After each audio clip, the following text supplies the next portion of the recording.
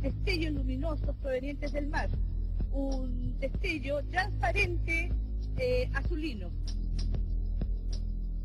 Yo lo interpreté como si fuera ovni, como si fuera ovni, ovalado, pero con una nebulosa muy fuerte, medio plomiza, que comenzó a aumentar.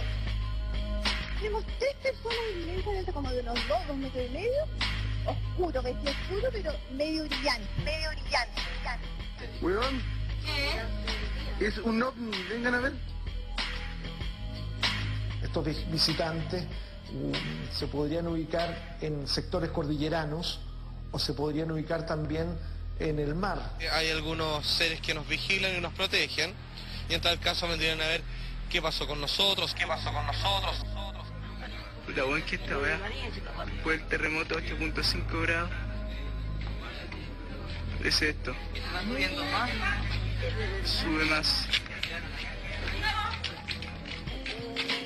Inmediatamente empieza a, a- a acercarse esta, esta luz, plena carretera, y prácticamente el auto de Marcelo ya no podía más, porque había perdido fuerza. Había perdido fuerza. empiezas a tener sueños que eh, haces contacto con, con ovnis, que ves naves, que arrancas de naves. anuncian los visionarios que hablan de ellos, pero son todos imprecisos. Son todos imprecisos.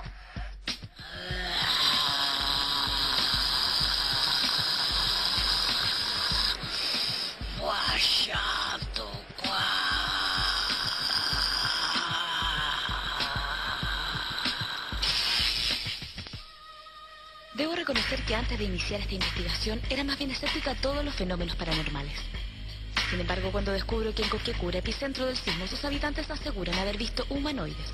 Cuando ufólogos me señalan que el día de la tragedia un bus repleto de pasajeros fue rodeado de naves de origen desconocido en Iquique.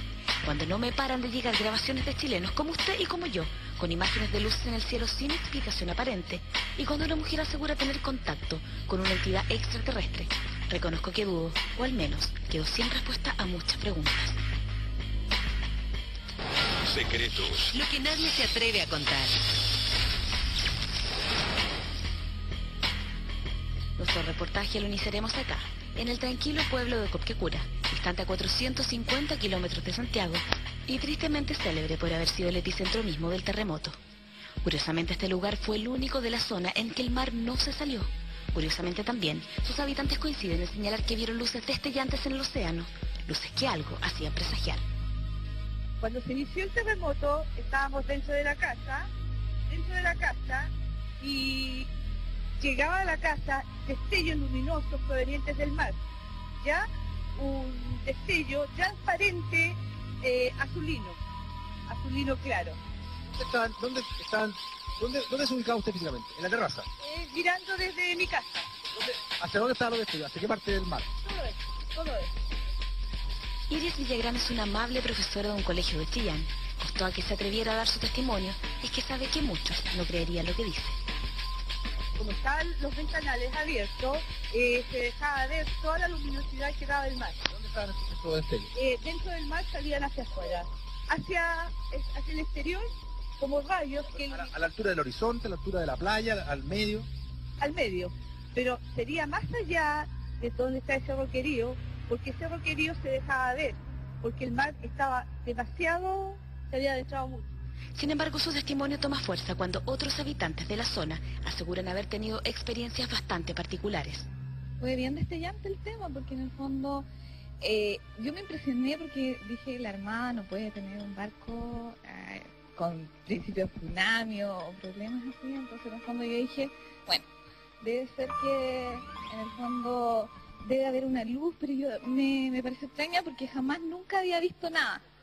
Entonces, eso yo lo interpreté como si fuera ovni o algo así. Claramente, estos avistamientos son comentarios obligados entre las personas de la zona. Había mucha gente que señalaba hechos puntuales como luminosidad en el cielo, eh, luces de colores, algunos objetos que se movían en, la- en el fondo, a- digamos, en en el horizonte del mar. Y, y, mucha- y no solamente ahora, sino que antes, años atrás, esto es algo bastante frecuente en esa zona, insisto, la zona de Quicura, Paipú, Colmuyao, en la, en la- en la zona costera de la provincia de Ñuble. Sin embargo, esta no es la primera vez que ocurren fenómenos así.